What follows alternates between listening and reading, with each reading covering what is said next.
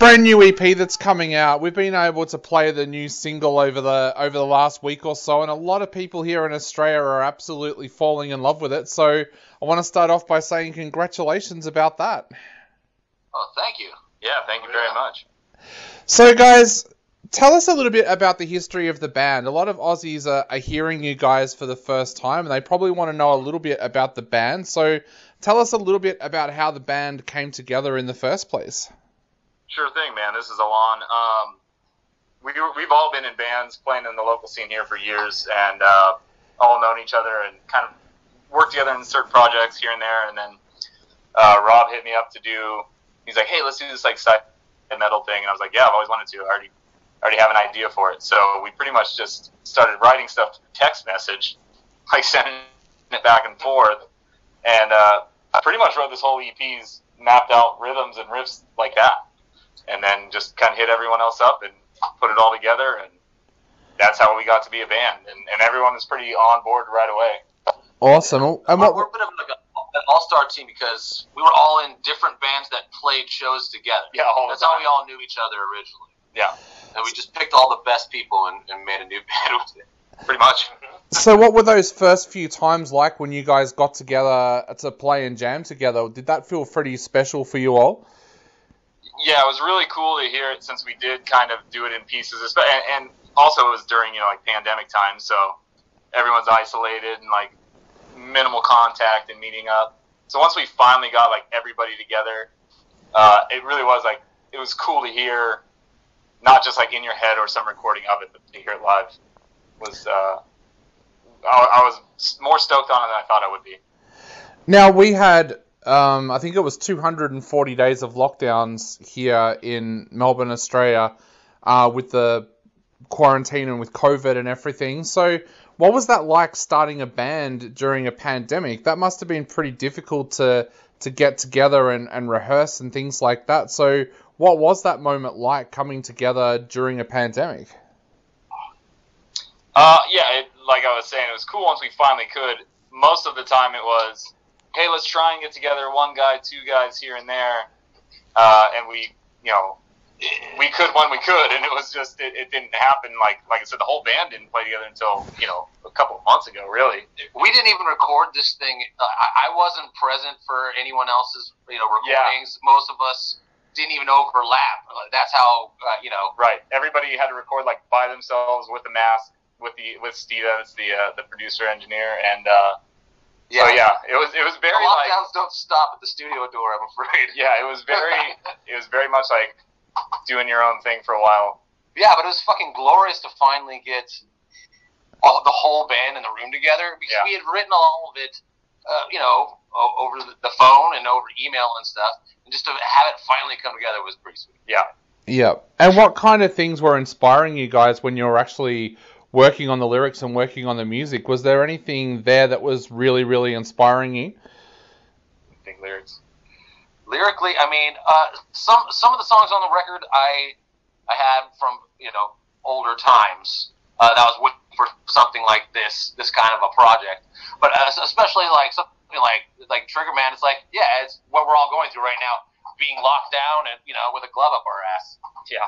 Uh, so it kind of you know, gave good fodder for pissed off material, I would say. Yeah, there's plenty to be kind of like pissed off about, honestly. So yeah, even musically, it was it was very like, what's the kind of like angriest thing I can make that's I still think sounds good, and uh, yeah, like I said, plenty plenty of that going around with work, going out socially, family life, whatever. It's all been strained. So burning down your kitchen. Yeah, burning down. Yeah, yeah. Uh, aside from the mishaps of normal life on top of it, it really just it, it really does provide a lot of uh, a lot of inspiration for this kind of music. What were the lockdowns like for you guys there? Because, like I said, ours lasted for 240 days, and we had some pretty strict restrictions. For most of that time, we weren't allowed to go any more than five kilometers from our house. We were only allowed to go out to go to a medical appointment or to go to a supermarket what were the lockdowns like there for you guys? That's probably why you guys are not uh, the highest country of, of people with COVID every day like we are. Uh, yeah. we, yeah. Ours have been not that strict. Barely not strict. not that strict. Everyone here is mad now that you have to wear a mask sometimes. So Of course, there was like the initial madness that Yeah. happened when they began, and everyone was hoarding toilet paper, and then it was like, oh shit, this might be the actual apocalypse. yeah, You know, Yep. and that good Americans, we all you know got our guns and, And everyone- hunkered down. yeah. everyone, everyone got mad that you weren't wearing a mask, and everyone else got mad that you were wearing. Where's a your mask? mask and your fucking gun? Yeah. Right. The second, the second is like, oh, old white people could die from this. Oh, shit, we jeez, gotta shut we it better fucking do something. Yeah. oh, but man. uh, yeah, we don't we don't actually know how bad it's it is over there. Yeah. Like we don't we're we're we're also not getting the full story from any some fucking surprise. We're not getting the whole story either. So how bad has it been for you guys now? Is it is it bad for you currently? Look, life is. this is where it gets really weird because if you watch TV of a nighttime and you see the riots and you see the um, the protests, it feels like it's really bad here. It's actually not. Uh, 90% of the Yeah. population are back at work like they would normally be. Um, yeah, we have to wear masks on public transport or if we're in a retail shop or something like that, but most of the people that you see on television now that are angry are the ones who decided that they weren't going to get vaccinated, so they haven't been able to return back to work. So, yeah, it, it, it's that mixture of 90% of the population are living their lives as normal with masks occasionally, and the other 10% are just very, very angry. Yeah. it's That's the ten percent that are going to fucking kill us. that's Yeah. yeah. That's what everybody sees. The same same thing here. Most people are pretty cool about most things, and then Ninety percent, every now and then there's that one asshole. So and they're the loudest. Yeah. unfortunately. Yeah. Yeah. And what was that like going into the studio one at a time? Did that um did that actually give you more time to work one on one with the producer or do you prefer being able to all go in together and record together? I think it's good and bad. I mean, I, I we've all kind of done both of those things. The good part about going in by yourself is you feel a little, even with your close friends, you feel like less pressure. You know, like just what, like one less person looking at you, going, "Hey, you screwed that up."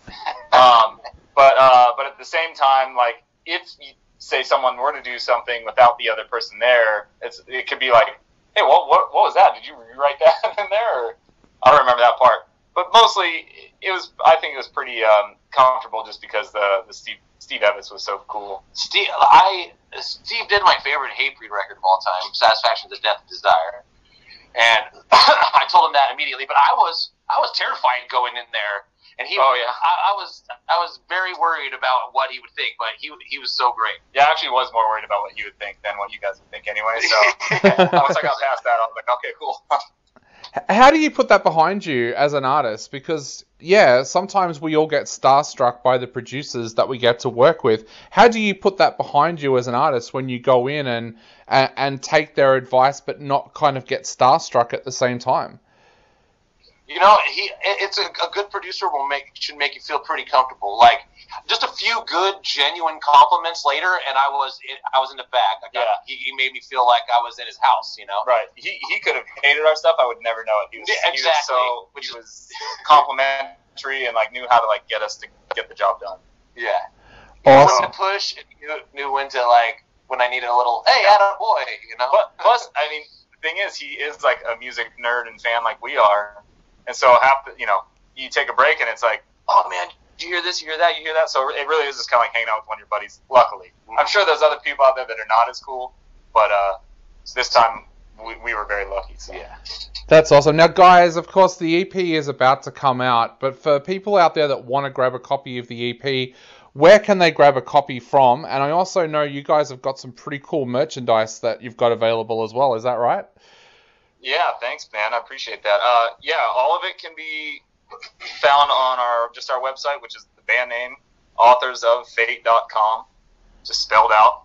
Um, we also have a Bandcamp, but most of the other stuff is streaming. So really, really the main place is on the website. That's where we'll have the full store set up. We'll have the merch, we'll have the CDs, and then you would be able to stream it everywhere else that they're streaming. So, but yeah, all, all physical merch from the site. Awesome. Well, guys, we're going to play Triggerman on our show again right now. So, what would you like to say to everybody out there before they not only take a listen to this amazing track, but before they get a chance to go out there and listen to the EP as well? Uh, thanks for listening, and if you don't like it, I'm I'm really really sorry that you're wrong about this this time. Because We we're all allow you because to be wrong I because I hate most stuff and I actually like this. Already so, forgiven. yeah, but but we'll totally give don't you a pass to love and, this. and feel free to tell us that we suck. genre we're not really yeah, sure actually, what it sounds if anyone like. could tell us what genre we are, that'd be fantastic. Also. yeah, that'd be cool. I think I think you guys have created a genre. There's nothing wrong with that. I don't. I don't mind. Yeah, it's, that, I think that's the, the age old like metal joke. Like, oh, what are you? Oh, we're uh, we're oh, we're a little this, little ah, we're like power slop. We're authors of genres. Yeah. We're authors of genres. Genres the fate. Yeah. So anyway, awesome. Well, guys, thank you so much for taking the time to chat to us today. It's been an absolute pleasure, and hopefully one day we get to see you guys touring here in Australia.